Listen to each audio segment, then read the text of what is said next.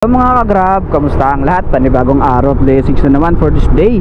At ayan, grabe sobrang init no? So hindi ko na patatagalin At meron lang tayong sasagutin na ah, comment na galing sa ating customer. So ibig sabihin is customer to ah, natin dito sa Grab.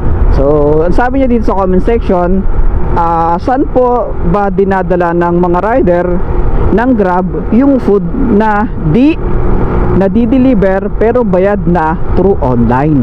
So ganito po 'yan. So yung pagkain po na hindi na i-deliver sa inyo pero pero bayad na po. Ganito po 'yan.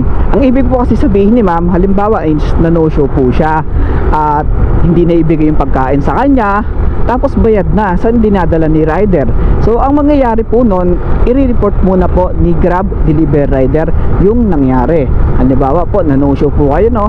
So ang ibig pong sabihin ng no show eh wala po si customer na ah, hindi siya makontak or ah, talagang as in walang ah, conversation na nanggagaling kay customer na kahit tinatawagan eh wala. As in walang conversation. Kahit nandun na si delivery rider sa pin location. So ngayon ang gagawin po ni delivery rider within 15 minutes kapag wala po si customer eh i-report na po yun kay Grab. So pupunta po siya sa reports yan sa health center tapos i-report niya po for reimbursement. No kahit bed na po yung pagkain yun is ang ang mangyayari po nung sa report pa rin is reimbursement pa rin po. Pero dahil may kita naman ni Grab na bayad na yung pagkain eh iimbestigahan po yun.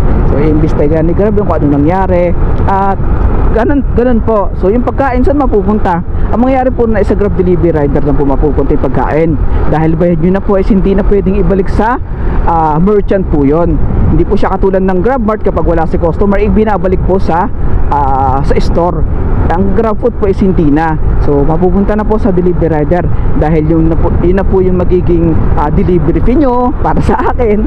So for my own opinion parang yun na yung magiging delivery fee nyo. So yun yung magiging bayad nyo sa abala sa delivery rider. At ito pa po yung isa so dahil uh, ininosyo po kayo ni Grab, ni Grab so dahil iimbestigahan pa kapag na, ah, kapag inimbesti- inimbestigahan ni Grab yun at naniwala si Grab delivery rider. So dun sa nangyari kay kay rider eh hindi na po ikakaltas yun.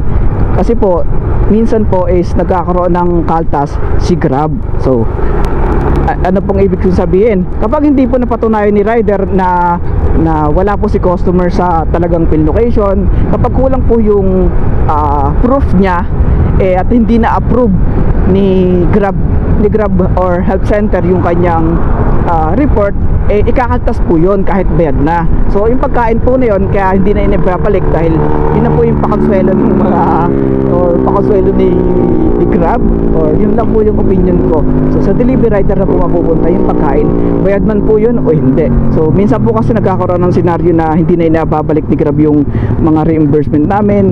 At minsan ah, na kahit nagre-report eh hindi na pinapaboran ni Grab Ayun po, basta po, kapag ang scenario po is no show at hindi na na i-deliver sa ah, hindi sa customer is yung basta po yung pagkain is napupunta na po sa delivery rider.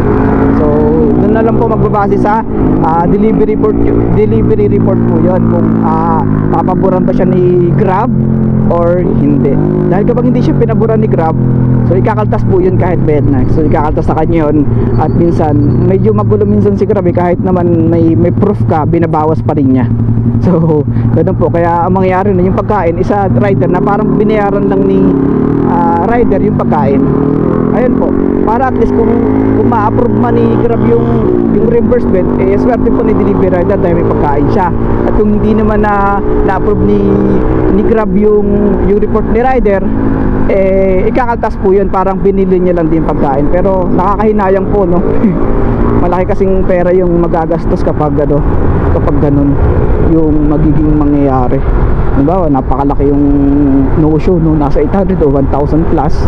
Di ba, napakasakit yung parang isang buong, buong araw ng delivery tapos ganun lang yung mangyayari. Kaya, kaya sana po sa lahat ng mga ah, customer namin na nagpapadeliver through online or Grab, kahit sa mga platform, ah, lalo mo food panda, lagi nyo pong antabayanan yung order nyo.